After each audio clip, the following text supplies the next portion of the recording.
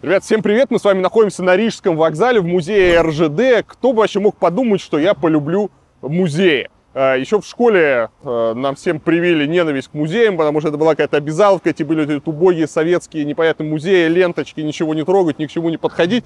В общем, уныние и тоска, и я рад, что у нас в России начали появляться действительно классные музеи э, с интерактивом, с какими-то активностями, куда интересно там не просто детей привести, а еще самому взрослому оказаться в музее, сейчас все потрогать. Где-то у нас сегодня будет насыщенная программа, мы посмотрим экспозицию на самом Рижском вокзале, мы прокатимся на настоящем паровозе. Я вообще не помню, я когда-нибудь катался на настоящем паровозе или нет, возможно, даже будет мой первый раз в жизни. Посмотрим вторую часть экспозиции на станции Подмосковная. Может быть, нас даже пустят в место, где ремонтируют настоящие паровозы, и потом вернемся опять в Москву на вот этом паровозе. Все, пойдем в музей, пойдем на экскурсии, поехали на станцию Подмосковная.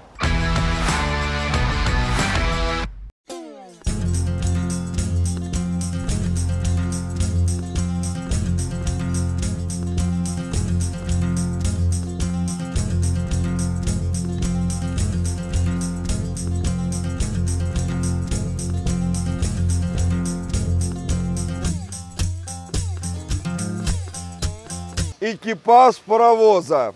Три человека. Машинист сидит справа по ходу движения машины, ведет паровоз. А кто из вас знает, чем занимаются помощник машиниста и кочегар? Кочегар, запомните, паровоз не топил. Ему это не доверялось. Это было непросто. Если уголь был подмосковный, его называли землей, им надо было забрасывать топку доверху, он плохо горел. А если донецкий, он имел свойство сплавляться в однородную массу, так называемую плиту.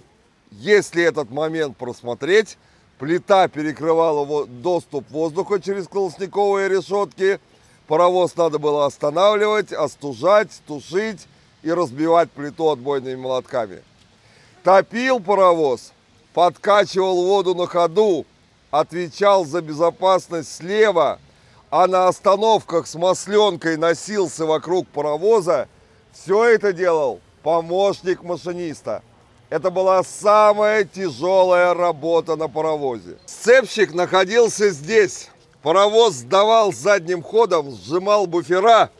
Цепщик, сцепщик набрасывал петлю на крюк – и затягивал резьбовой механизм. В царской России на эту должность брали мальчиков 14-15 лет. Средняя продолжительность жизни такого сцепщика редко превышала 21 год.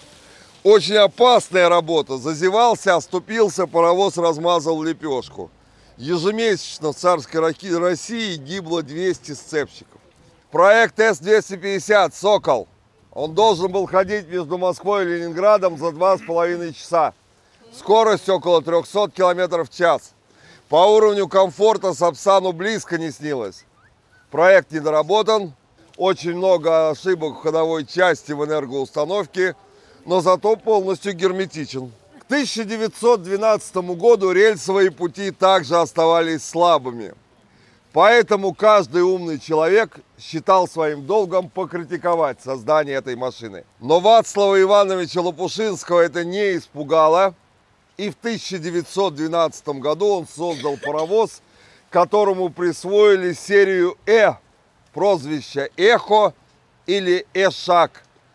Паровоз оказался настолько хорошим, что с различными изменениями его строили до 1957 года. Мировое паровозостроение не знает подобного долгожителя. Мало того, трудно сказать, как сложилась бы Великая Отечественная война, не будь у нас паровозов этой серии. Все прифронтовые перевозки с помощью паровозов этой серии, а также 70% военных внутри страны. И паровоз серии «Э» считается паровозом победы.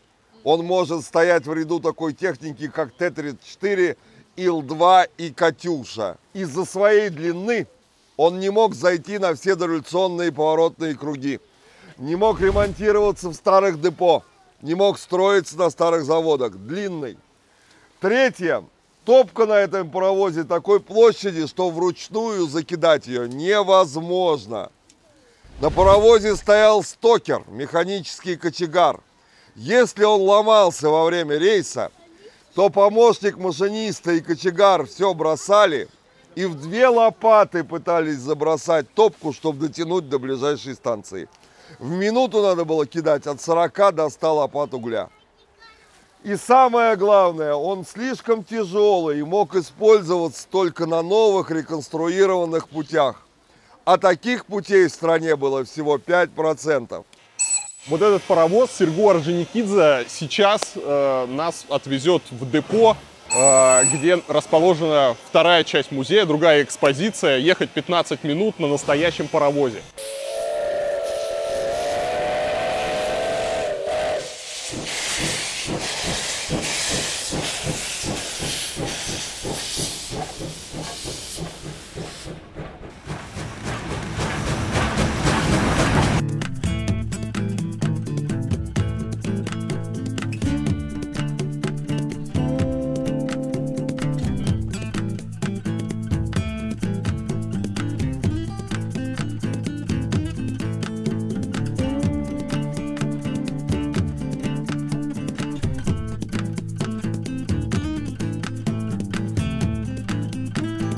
Веерное депо, сам веер, зашел локомотив с мелким ремонтом, его отремонтировали, вышел на веер, подошел к кругу, круг вовремя не подали, локомотив упал в круг, добро пожаловать на более крупный ремонт. Все очень четко. Сейчас этот круг вращается с помощью электричества. С помощью какой силы тяги он вращался до эры электричества? Лошади пугались свистков и выхлопов пара. Людской. Представьте себе эту картину. Молодые парни, фигурно измазанные мазутом, в распахнутых рубахах, напрягая внушительные мышцы, вращали этот круг. Девушки из окрестных сел приходили томно вздыхать за забором. И действительно, молодой парень приходил в депо, его ставили на самую черную тяжелую работу – если проявлял соображение, то его мог два года отъездить кочегаром, 3-4 помощником и с рекомендацией машиниста сдать экзамены на господина механика. Пойдемте. Да, нам удалось попасть э, в паровозное депо. Очень круто. Главное не свалиться в яму. Пошли дальше. За проезд машинистам запрещающего сигнала семафора на один метр машинисту полагалось что? 10 лет лагерей. Помощнику 7-8.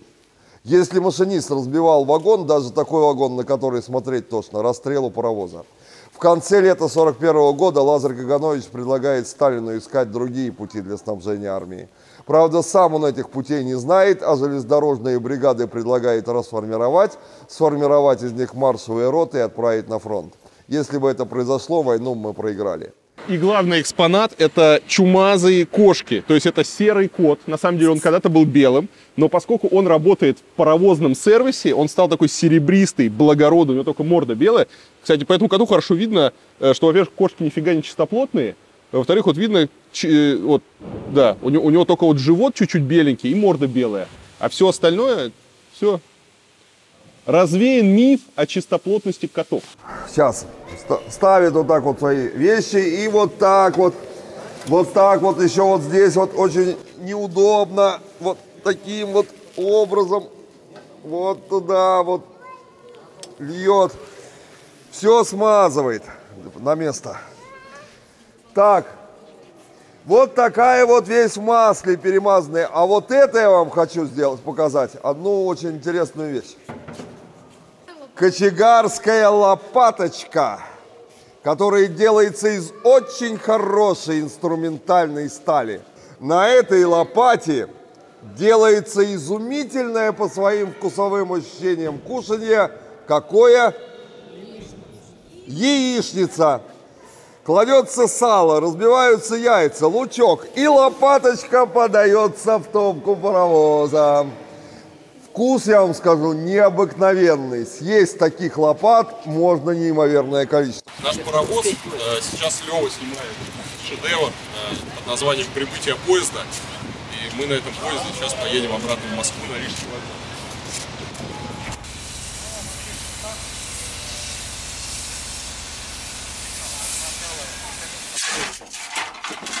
Такие больше не Да, делают. лучше вы вот. Нет, неправильно держитесь. Так, неправильно почему? Ну, вы держитесь правильно, только неправильно стоите. А, ну это, Да, стоит. это с да. другой стороны, хорошо. Да. Так, Вот так вот, да. и туда прямо, да? Да, да, да, да, только лопатка. Там сколько градусов? Вот, вот сейчас. Сейчас нормальный градус. Градусов 300. 300 это как раз стейк, стейк готовить. 300 градусов. Блин, такие можно Это- стейки, пар- стейки паровозные. Самый дорогой гриль, короче. Не, ну вот что, делаем же яичницу на лопате. Нормально жарится, да, нормально.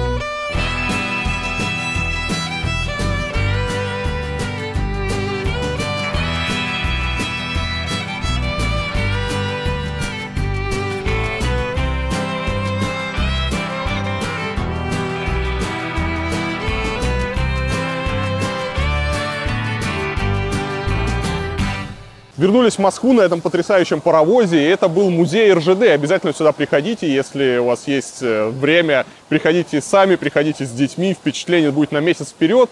Э, Все ссылочки, полезная информация будет в описании к этому ролику. Друзья, я вам покажу, э, как выглядит музей РЖД в Санкт-Петербурге. Ему исполняется год, я там был на открытии, сейчас поеду туда спустя год в честь юбилея, первого юбилея, там открыли новую экспозицию, так что это будет очень интересно. Не забудьте подписаться на канал, если до сих пор этого не сделали, нажать на колокольчик, чтобы не пропустить новый выпуск. Все, всем пока, э, чух-чух, едем, едем дальше. Постой, паровоз, не стучите колеса. Есть время взглянуть судьбе в глаза. Пока еще не поздно нам сделать остановку. Кондуктор, нажми на тормоза. Не жди, не жди меня, мама, хорошего сына. Твой сын уж не тот, что был вчера. Меня засосала опасная трясина, ма, и жизнь моя вечная игра.